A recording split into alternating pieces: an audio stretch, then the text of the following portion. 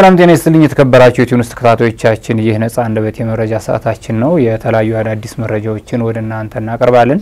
በለጠ ካሳና በላይ ማናየ እንዲሁም የቀረጻና ቅንብር ባለሙያው መለስ አድማሴ አብረናችሁ እንቆያለን። እስከ ዝግጅታችን አብራችሁን ዝለቁ። ወደ መረጃዎቻችን እናልፋለን። በለጠ የክፍለ ጊዜ መረጃዎች ምንድን ናቸው? ምን አዳዲስ ነገር አለ? ወደ መረጃዎቻችን እንለፍ እስኪ። ጥሩ በላይ አመሰግናለሁ። እንግዲህ ከሰሞነኛ መረጃዎቻችን ባሻገር ወይም ደግሞ የነበረው ወቅታዊ ጉዳይ ሸፍኗቸው የነበሩ መረጃዎችም ይዘናል። መጀመሪያ ግን እዚህ ናዝሬት ወይም አዳማ የሚደረገው የኦሮሚያ ክልል ምክር ቤት ስብሰባ ሽመልስ አብዲሳ በክብር ጥሪ አቅርበዋል የሚለው መረጃ ነው የሚቀድመው። በኦሮሚያ ክልል ውስጥ ታጥቀው ለሚንቀሳቀሱ ታጣቂ ኃይሎች ኦነግ ሸኔ ማለት ነው ወደ ሰላማዊ መንገድ እንዲገቡ የክብር ጥሪ በምክር ቤቱ ፊት አቀርባለሁ ብለዋል አቶ ሽመልስ አብዲሳ። እንግዲህ ከአሁን በፊትም በምክር ቤቱ ቢመጡ የማቋቋሚያና ታጣቂዎች ትጥቅ ፈተው እንዲመጡ ከሚለው ጥሪ ይሄኛው ደረጃውን ጠብቆ የፕሮቶኮል ጥሪ ይመስላል በላይ የክብር ጥሪ እናደርጋለን ነው የሚለው። ያው እንግዲህ ባለፈው ሚያዝያ ወር ላይ ባለፈው ዓመት በሽብር የተፈረጁ ድርጅቶች ናቸው ህወሀትና ኦነግ ሸኔ። አሁን ለእነዚህ ጥሪ እያቀረቡ መሆኑን ነው እንግዲህ መነጋገሪያ ጉዳይ የሆነው በኦሮሚያ ክልል የሚንቀሳቀሱ ስለሚል በዋናነት ለሱ ማለት ነው እና ከዚህ ጋር በተያያዘ በላይ በሰሞኑንም ያየነው መረጃ ነበረ። የአውሮፓ ህብረትን በዚህ ጉዳይ ላይ አንዳንድ እንቅስቃሴዎችን እያደረገ ከፌዴራል መንግስቱ ጋር የኦነግ ሸኔን ለማደራደር እንደውም አንድ ሾልኮ የወጣ ደብዳቤ ላይ ያለው የሰብአዊ የንጹሀን ጭፍጨፋን በተመለከተ ለቀረበው ሪፖርት በዛ ሁላ ማብራሪያ የሚጠይቅ ደብዳቤ እያየን ነበረ። ግን ከዛ ሰፋ ብሎ ግን የታየው ባለፈው ቶሌ የተፈጸመውን ጭፍጨፋ በተመለከተ አውሮፓ ህብረት ይህን ጉዳይ ሪፖርት አካቶት ነበረ። በኋላ እኛ አይደለንም ኃላፊነቱን እንወስዳለን አንወስድም በሚል የአውሮፓ ህብረት ከኦነግ ሸኔ ኮማንድ ከኮማንዱ ጋር የአውሮፓ institute peace ነው የሚለው? ምናልባት በህብረቱ ዘንድ የታወቀ ነው አይደለም የሚለው? የ research እንትን ስለሆነ? ተቋም ስለሆነም ዞሮ ዞሮ ይሄ የሚያሳየው ዞሮ እዛ ደብዳቤ መልእክቱ የሰላም ስምምነት እንቅስቃሴዎች እንዳሉ ነው እንግዲህ ከባለፈው ጥቅምት ጀምሮ ነው። እና ከዛም ወዲህ ደግሞ ሰሞኑን ውጭ ሀገር መቀመጫቸውን ያደረጉ የኦሮሞ Legacy Leadership and Advocacy የሚባል የሲቪክ ማህበር ሀያ የኦሮሞ የሲቪክ ድርጅቶችን ያካትተው ማለት ነው እንደዚሁ ለጠቅላይ ሚኒስትር አብይ አህመድ ለአፍሪካ ህብረትና ለኦነግ ሸኔ አመራሮች ደብዳቤ መጻፉን ገልጾ ነበረ። ሴና ጅንጃሞ የዳይሬክተሩ ዋና ዳይሬክተሩ በትግራይ የተሰጠውን ያክል ትኩረት በኦሮሚያ እየተሰጠ አይደለም፣ የትግራይን ጉዳይ በተመለከተ የአፍሪካ ህብረት የአፍሪካዊ ችግሮችን በአፍሪካውያን በሚለው መርሁ መሰረት መፍትሄ ይሰጥ፣ የኦሮሚያን ክልል ግን እያየው አይደለም፣ የአፍሪካ ህብረት ከፍተኛ ትኩረት እንዲሰጥ እንጠይቃለን በሚል ደብዳቤ መጻፋቸውን የምናስታውስ ነው። እንግዲህ ይህን ደብዳቤ መሰረት አድርጎ ይሁን ወይስ በአዲስ በራሱ ተነሳሽነት የክልሉ መንግስት የኦሮሚያ ክልል መንግስት በክብር እንዲገቡ እና ለሰላማዊ ድርድር ዝግጁ እንዲሆኑ በሚል አይነት ይዘት ያለው የእርቅ ጥሪ አድርገዋል። እርቅ ነው የሚለው። ከዛ በፊት እንግዲህ እንደምታስታውቀው የኃይል እርምጃ እንወስዳለን፣ ጉዳዩን ህግ በማስከበር እንፈተዋለን የሚል ነበረ። አሁን እንግዲህ ይህን በክብር ጥሪ አድርገውላቸዋል በምክር ቤቱ ፊት። እንግዲህ የጨፌ ምክር ቤቱ አብሮ ከሪፖርቱ ጋር ይህን እንደ ዋና ጉዳይ አይቶታል ማለት ነው። በምክር ቤት በፊት እንግዲህ የክልሉ ምክር ቤት ይህንን ጥሪ አቅርቧል ብሎ መውሰድ ይቻላል።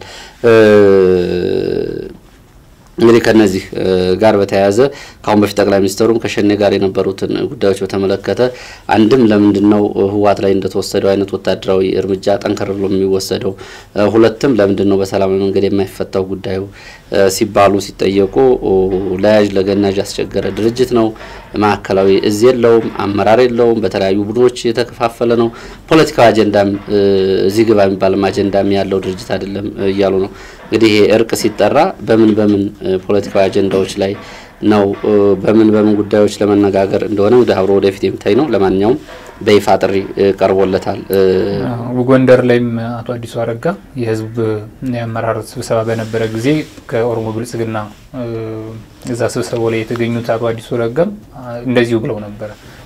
ጠቅላይ ሚኒስትሩ ያሉትን ለንግግርም የማይመች የተለያየ መሪ ያለው ነው ብለው ነበር። ነገር ግን አንተም እኔም ባየነው የአውሮፓ Institute of Peace ደብዳቤ ላይ አንድ command ያለው ኃይል ከዚህ በፊት ሪፖርት አውጥታችሁ ነበረ።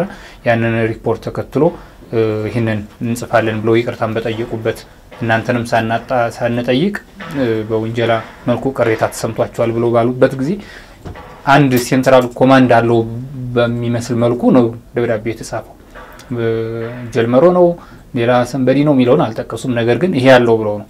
ስለዚህ አሁን ያንን ወደ ማመን ነው ይሆን የሚለውንም ተመልካቾች ሊመረምሩ ይችላሉ። መንግስት አሁን አቶ ሽመልስ አብዲሳ ይህንን ሲያነሱ ሊደራደር የሚችለው ኃይል ተገኘ ማለት ነው የሚል ጥያቄ ጠይቀን ማለፍ እንችላለን። በለጠ ጥሩ በላይ እንግዲህ ያው ይህኛው ጉዳይ ወደፊትም በስፋት የሚታይ ነው። እንግዲህ እና አዲሱ አረጋ ይህንን ሲመልሱ ጠቅላይ ሚኒስትሩ የተናገሯቸውን ቃል በቃል ነው ብዙ ጊዜ እንግዲህ እየተናገሩ የነበረው። ጠቅላይ ሚኒስትሩ ኦነግ ሸኔ ማዕከላዊ እዝ የለውም፣ አመራር የለውም፣ ፖለቲካዊ interest ኡም እንትን አይሉ እንደ ሽፍት አይነት ባህሪ ሲገልጹት በዛ ልክ ነው የገለጹት። አሁን ደግሞ ሽመልስ አብዲሳ ይህንን ሲያንጸባረቁ ቀጥለው እንግዲህ የሚሉትን ደግሞ አብረው ነው የምናየው። ያው የሀሳብ ፍሰቱ ከላይ ወደታች ወጥ ነው የሚመስለው። ሌላ መረጃችን በላይ ዛሬም ተመሳሳይ በዚህ በጠለምትና በሽሬ ቀጠና የደረሰን መረጃ አለ። እዛ አካባቢ እንግዲህ በተለይ ሰሞኑን የተከዜ ሸለቆን ተከትሎ ባሉት አካባቢዎች አዳዲስ የህወሓት ታጣቂዎች እንቅስቃሴ እየተደረገ ነው። በተለይ ጠለምትና አካባቢውን ለመቆጣጠር በፕሮፓጋንዳም በትጥቅም እንቅስቃሴ እያደረጉ ነው የሚል መረጃ ነው ያለው። ለምን ጠለምትን የሚለውን ግን ወደፊት ምናልባት ፖለቲካዊ አንድምታዎች ተወስደው ሊታዩ ይችሉ ይሆናል። ለምን ጠለምትን የሚለውን አዎ እንግዲህ ይህን አንዱ ይሄ ጠለምትና አካባቢው ላይ ያለው እንቅስቃሴ የሚያሳየው በላይ ምንድን ነው? በዛ አካባቢ አዳዲስ ወታደራዊ እንቅስቃሴዎች እየመኖራቸውንም ትላንትና አንድ ቦታ ላይ እንደውም በክልሉ የጸጥታ ኃይሎች ላይ የህወሓት ታጣቂዎች ተኩስ ከፍተው እንደነበር ነው እንግዲህ ከሰላም ስምምነቱ በኋላ በይፋ የህወሓት ታጣቂዎች በይፋ በአማራ ክልል የጸጥታ አካላት ላይ ተኩስ ሲከፍቱ ነው። ሰሞኑን በዋግ ኽምራ በጻግብጃ አካባቢ ከአካባቢ ሚሊሻዎች ጋር እንደዚሁ ባለፈው ቅዳሜ ማለት ነው መጠነኛ የሚባል የተኩስ ልውውጥ እንደነበር እናስታውሳለን። ይሄኛው ግን በተደራጀ ደረጃ ሊባል ነው ዲማ ወይ ደግሞ አይቫሪያ ተብሎ የሚጠራው አካባቢ ላይ ነው ይህንን ተኩስ ከፍተው የነበሩ የህወሓት ታጣቂዎች የሚል መረጃ ነው ያለው። ቁስለኞችን ጨምሮ ወደ ማሰልጠኛ እያስገቡ ነው። ከሻለቃ በላይ ያሉ የወታደራዊ አመራሮች ያሏቸውን ዛና ተብሎ የሚጠራ ቦታ ከሽሬ አካባቢ ከሚገኝ ወረዳ ላይ ዛና ተብሎ የሚጠራ ወይም ደግሞ ደብረ ከርቤ ተብሎ የሚጠራ ቦታ ላይ አስቸኳይ ስብሰባ ጠርተው የማዋቀር ስራ እየሰሩ ነው። ከዚህ ደብረ ከርቤ ወይም ደግሞ ካዘና ከሚባል ቦታ ወደ ምስራቅ ጠለምት ወይም ደግሞ ምንጫር አካባቢ ታጣቂዎችን እያመጡ አስፍረዋል። የጭላ ወይም ደግሞ እዚህ ተከዜ hydroelectric power ግድብ አካባቢ መድፍ፣ ታንክ፣ ዙ 23 መሳሪያዎችን አሁንም እንዳከማቹ እንደሆነ ነው አካባቢውን የሚያውቁት የመረጃ ምንጮቻችን እየገለጹ ያሉት። መቶ አንድ ኮር ወደ መደባይ ዛና ትኩል ወደሚባል ቦታ ከባለፈው የካቲት ሰባት ጀምሮ ወደ እነዚህ አካባቢዎች እንደተንቀሳቀሰ ነው የመረጃ ምንጮቻችን የሚገልጹት። እዚህ ጎን ለጎን ደግሞ እዛው አካባቢ ያሉትን እንግዲህ የአማራ ልዩ ኃይል ይውጣልን ብላችሁ ሰላማዊ ሰልፍ አድርጉ የሚሉት እንግዲህ እነዚህ ቦታዎች በላይ አሁን የምንገልጻቸው አብዛኞቹ ከተከዚ ወዲህ ያሉት አሁን በሰሜን ጎንደር ስር የሚተዳደሩ የጠለምት፣ ምስራቅ ጠለምት፣ ምዕራብ ጠለምት፣ ዲማ ተብለው የሚጠሩት አካባቢዎች ያሉትን እና እነዚህ አካባቢዎች ላይ ሁሉ እንደዚህ አይነት ፕሮፓጋንዳ እየሰሩ ዛሬ በቁጥጥር ስር የዋሉ ሰዎች አሉ ተብሏል። ይህ ጉዳይ እንግዲህ በተለይ ታጣቂዎቹ ተኩስ ከፍተዋል ከተባለ ጊዜ ጀምሮ በአካባቢው ያለው ሁኔታ ልዩ ትኩረት እንዲሰጠው አድርጎታል። ሆኖም እንግዲህ መከላከያ ከሽሬ ጀምሮ እስከ ደባርቅ ባሉት ዋና ዋና መስመሮች አለ። ግን አሁን መከላከያ መደበኛ የሚባል አይነት እንቅስቃሴ እያደረገ አይደለም። ተረጋግቶ ነው ያለው። እንደውም እዛ አካባቢ ያለው የትግራይ እና የአማራ የጸጥታ ኃይሎች በሚመስል መልኩ ነው እየሆነ ያለው ብለዋል። ይህንን ነው መረጃ ያደረሱን። በላይ እንግዲህ ጠለምት አካባቢ ያለው እንቅስቃሴ ትኩረት የሚሻው ነው። ከአሁን በፊትም በተለይ የደደቢት አካባቢ ያለው ጋር ተስተካካይ የሚባልና ተመሳሳይ መሬት ያለው ነው። ይሄ የሰሜን ተራሮች ወይ ደግሞ እንግዲህ ዳሽን ተራራ እየተባለ በተለምዶ የሚጠራው ተራራ ዝቅተኛ ቦታዎች ናቸው። እጅግ አስቸጋሪ ወጣ ገባማ አካባቢ ነው። ይህንን ህወሓቶች በትጥቅ ትግል ጊዜ ባለፈው ጊዜም እንደገና 2013ም ጌታቸው ረዳም እንደው አንዴ እንደገለጸው እዛ አካባቢ ነው ህይወታችን ያተረፍ ነው የሚል እና አካባቢውን የመልክዓ ምድር አቀማመጡን ለወታደራዊ ጠቀሜታ ሲባል አሁንም ያለቀቁት አካባቢ እንደሆነ ነው። ከዚህ ጋር ተያይዞ እንግዲህ መሳሪያ መፍታትንና በትግራይ ውስጥ አዲስ መንግስት ማዋቀርን የመሳሰሉ ስምምነቶቹ ከሽፈዋል ነው የሚሉት እዚህ የመረጃ ምንጮቻችን። የመጀመሪያ ዙር እዛ ከመቀሌ በቅርብ ርቀት ከሚገኙ አካባቢዎች የተወሰኑ ከባድ መሳሪያዎችን አስረከቡ። ከዛ በኋላ ግን አሁን በሚገለጹት አካባቢዎች ላይ ግን በርካታ መሳሪያዎች አሏቸው። ይህን እያስረከቡ አይደለም። ስለዚህ የመሳሪያ ርክክቡ ሙሉ በሙሉ ውጤታማ ነው ማለት አይቻልም። ስጋትም እየፈጠረ ነው። ሌላው እንግዲህ በትግራይ ውስጥ ይዋቀራል የተባለው አዲስ አካታች መንግስት የተባለው ጉዳይ አሁን እንደሚታየው ህወሓት ራሱን በሌላ ለምድ ገልብጦ እየመጣ ነው ነው የሚሉት እና ከዚህ አንጻር ይህንን ሊያዩት ይገባል። እንግዲህ ሰሞኑ ከዚህ ጋር በተያያዘ ጄኔራል ታደሰ ወረደ ጄኔራል ታደሰ ወረደ በትግራይ ጊዜያዊ የሽግግር መንግስት እነሱ የትግራይ መንግስት እያሉ ነው የሚጠሩት ለማቋቋም የግብረ ኃይሉ ማስተባባሪ ኮሚቴ ሰብሳቢ ሆነው እየተናገሩ ነው። ከፌዴራል መንግስት ጋር አሁን የምናቀርበው proposal አለን፣ በ proposal ኡ ላይ እንደራደራለን ወይ ደግሞ አሁን የሚቀርብ ሰነድ አለን። አጠቃላይ መዋቅራዊ አደረጃጀቱን የሚያሳይ ሰነድ አለ፣ ፌዴራል መንግስት እናቀርበዋለን እያሉ ነው። በዚህ ዙሪያ ተቃዋሚዎቹ ተቀባይነት የሌለው አደረጃጀት ነው፣ እኛ አንቀበለውም፣ መገለል ደርሶብናል፣ የትግራይን ህዝብ አይወክልም፣ ቀጥታ የትግራይን ህዝብ መከራ የሚያራዝም የህወሓት ወኪል የሆነ ነው ይሄን እያደረገ ያለው። ግልጽነት የለውም፣ ገለልተኝነት የለውም፣ ውክልናውን አያረጋግጥም፣ ተቀባይነትም የለን፣ ከዚህ ኮሚቴ ጋር ግንኙነት የለን የሚል ያው መግለጫ እየሰጡ ነው። በአንጻሩ ታደሰ ወረደ አካታች፣ ዲሞክራሲያዊ፣ ግልጽ፣ አሳታፊ የሆነ ነው። ሆኖም እንግዲህ ከውስጥም ከውጭም ትንንሽ ቅሬታዎች ሊኖሩ ይችላሉ ግን ይህን ከማድረግ የሚያስቆመን የለም። እንደውም ይህንን በፍጥነት አከናውኑና በጀት ይለቀቅላቸዋል ተብለናል ከፌዴራል መንግስቱ። ባለፈው ከአብይ አህመድ ጋር በነበረው ግንኙነት ይህንን ተብለናል ነው የሚሉት። እንግዲህ ታደሰ ወረደ ይህንን የአስተባባሪ ኮሚቴ ለመያዝ ከጀኔራል ጻድቃን ጋር የነበረውን የወቅቱ በህወሀት ማዕከላዊ ኮሚቴ የህወሀት ደግሞ አጠቃላይ የምክር ቤት ጉባኤና ተወካዮች ሌሎችም በተገኙበት የነበረውን ፉክክር በላይ ስናቀርብ ነበርና ታደሰ ወረደ ይህንን አደራጅ ኮሚቴ መያዙ የህወሀትን ሚና የበለጠ ያሳድገዋል። በአንጻሩ ይህንን የማደራጀት ኮሚቴ ደግሞ እነ ጀነራል ገብረ ጻድቃን ቢወስዱት ኃይል ከህወሀት ይወጣል፣ እንደውም በህወሀት ላይ በቀል ሊፈጸምብን ይችላል የሚሉ ግምገማዎች በግለሰብ ደረጃ ያለውን ነገር ሲገመግሙ ነው እና አሁን ታደሰ ወረደ ስለያዘው ተቃዋሚዎቹ ከፍተኛ ቅሬታ እያቀረቡ ነው። ተቃዋሚዎቹ በወቅቱም እና ዲያስፖራዎቹ ጀኔራል ጻድቃን እንዲይዘው ፍላጎት ነበራቸው። እሱ አልሆነም። ጀኔራል ታደሰን የህወሀት ወኪል አድርገው ነው የሚያዩት። ይሄ ነው እዛ አካባቢ ያለው ጉዳይ። ግን ይሄ በአማራ ክልል በኩል ግን ያው እንደ ከፍተኛ ስጋት እንደታየ ግን ባህር ዳር አካባቢ ይህን ጠለምታ ያለውን ጉዳይ በተመለከተ እንዴት ነው ጉዳዩ የሚታየው ብዬ ደውዬ ነበር በላይ ወደ ባህር ዳር ጉዳዩ እንደሚታወቅ እና የጸጥታ ግምገማ እየተደረገ እንደሆነ ከአካባቢ ከሚገኙት የፌዴራል ጸጥታ አካላት በተለይ ከመከላከያ ጋር ጉዳዩን ሪፖርት እንዳደረጉና ይሄ ጉዳይ ወደ ሊሄድ እንደሚችል እየተነጋገሩ ነው። ክልሉም ባንክሮ እንደያዘው ነው እየሰማ ነው። ሌላው መረጃችን በላይ ወደ ባህር ዳር የሚወስደን ነው። እንግዲህ በዚህ መረጃ ሰዓታችን እንደ ዋና መረጃ ሊታይ ይችላል። አስቸኳይ ስብሰባ ተጠርቷል ባህር ዳር ለነገ ለየካቲት 11 ቀን ማለት ነው። አስቸኳይ ስብሰባ የጠራው የዞን አመራሮች፣ የጽህፈት ቤት ኃላፊዎች፣ የክልሉ አመራሮች ናቸው። አስቸኳይ ስብሰባ ተጠርተዋል። አስቸኳይ ስብሰባው አጀንዳው ወቅታዊ ጉዳይን በተመለከተ ነው። በተለይ የቤተ ክርስቲያኗን ጉዳይ ተከትሎ በነበረው ሀገራዊ ሁኔታ ክልሉ ላይ ከፍተኛ የፖለቲካ መናጋት ደርሷል ነው የሚሉ የመረጃ ምንጮቻችን። ይህንን በተመለከተ እንደገና ገለጻ ወይም ደግሞ orientation ለመስጠት መዋቅራዊ ለመስጠት አንድ ይሄኛውን ጉዳይ በተመለከተ ነው። ሌላ ከላይ ከህወሀት ጋር ባለው ጉዳይም እንግዲህ ህወሀት እንደገና የኃይል አደረጃጀቱ እየመጣ ነው።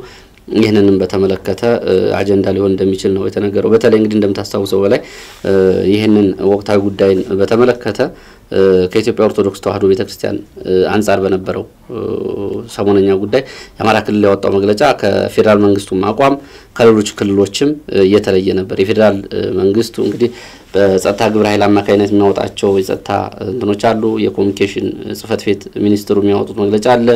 ጠቅላይ ሚኒስትሩ ይናገሯቸው የነበሩ አሉ። ሌሎች ክልሎች ደግሞ እና የኦሮሚያ ክልል እና የሌሎች ክልሎች በአመዛኙ ተመሳሳይ ሲሆኑ የአማራ ክልል ግን ወጥ የሆነ በተለይ ከሰሞኑ ሁኔታ ይታይ ነበርና እሱ በክልል ውስጥ የፖለቲካዊ መዛባት ፈጥሯል። በርካታ አባላትም ከብልጽግና እንወጣለን የሚል ጥያቄና ማመልከቻ አቅርበዋል። እንግዲህ ከዚህ እንደምታስታውቀው እንደምታስታውሰው በፌዴራል ደረጃ ራሱ በጠቅላይ ሚኒስትር ጽህፈት ቤት ዲሞክራሲ ማዕከል ግንባታ ራሱ እንግዲህ የአማራ ብልጽግና ሰዎች ናቸው ይህንን በይፋ ስልጣን የለቀቁት እና ይሄ ከፍተኛ የሆነ የፖለቲካ መናጋት ወይ ደግሞ የፖለቲካ መዛባት ፈጥሮ ነበር ወቅታዊ ጉዳዩ እና ይህንን በተመለከተ በዚህ ጉዳይ ላይ ለመነጋገር ነው ነገ አስቸኳይ ስብሰባ የተጠራው ተብሏል። ሌሎችም ተዛማጅ ጉዳዮች አሉት። ምናልባት እንግዲህ ዋና ዋና አጀንዳዎቹን እና የሚነሱ ሀሳቦችን በነገ የመረጃ ሰዓታችንም መረጃዎቹን ተከታትለን የምናቀርበናል። ለማንኛውም ግን ወቅታዊ ጉዳዩን በተመለከተ ግን ከዞን መዋቅር በላይ ያለው የክልል መምሪያዎች፣ የክልል ጽህፈት ቤቶች እንዲሁም ደግሞ የዞን አስተዳደር ቢሮ ኃላፊዎች አስቸኳይ ስብሰባ ባህር ዳር ጠርተዋል የሚል መረጃ ነው አሁን ያለን በላይ። ከዚህ ቀጥሎም ከሚቀጥለው ሰኞ እና ማክሰኞ የፊታችን ሳምንት ማለት ነው የክልሉ የስድስት ወር መደበኛ ስብሰባም ሊደረግ ይችላል። የክልል ምክር ቤት ማለት ነው እንግዲህ የተለያዩ ሹመቶችንም ሊያጸድቅ እንደሚችል እንዲሁም ደግሞ የስድስት ወር የስራ አፈጻጸም ሊቀርብ እንደሚችል ነው መረጃዎች አሉት። በትክክል ግን ከዚህ ውይይት በኋላ መቼ እንደሆነ ቀኑ አልታወቀም። በሚቀጥለው ሳምንት የሚል መርሃ ግብር ተይዞለታል ነው የሚሉት የመረጃ ምንጮቻችን። ምናልባት ይሄኛው ጉዳይ ግን ሌላ ፖለቲካዊም ደግሞ አስተዳደር ጫና የሚፈጥር ከሆነ ደግሞ ምናልባት ሊራዘም ይችላል የሚል መረጃም አለ። እነዚህ ናቸው የኔ መረጃዎች። ጥሩ በለጠ፣ በጣም አመሰግናለሁኝ። ያው የክልሎቹ መደበኛ የስድስት ወር የመንግስት ስራ አፈጻጸም እየገመገሙ ነው፣ በምክር ቤት ሪፖርት እያቀረቡ ነው። ይሄኛው አሁን ባህር ዳር የተጠራው ግን ከዛ ወጣ ያለ ስለሆነ አጀንዳዎቹን ሰፋ አድርገን ያነሳቸው ነገር ግን ደግሞ ከዚህ ባለፈ ምን ተነሳ የሚለውን ሌሎች ተጨማሪ መረጃዎች እንደዚሁ ተከታትለን የምናገኘውን ለተመልካቾች እናደርሳለን። እንዳልከው እኔ ጋር ከያስኳቸው መረጃዎች መካከል ከሰሞኑ መነጋገሪያ የሆነው የጉራጌ ዞን ጉዳይ በተለይ ወልቂጤ ከተማ የውሃ የመጠጥ ውሃ ጥያቄ ነዋሪዎቹ እያቀረቡ ነው። ባዶ ጀሪካን ይዘው ረዥም ጊዜ ለወራት ሁሉ ውሃ እየጠፋባቸው እንደሆነ ሰልፍ አድርገው ነበረ። ለሰልፉ የተሰጠው ምላሽ ብዙዎቹን እንዳስከፋቸው ነው እየተገለጸ ያለው። ከዛም ባለፈ የሰው ሕይወትም ያለፈበት ነው።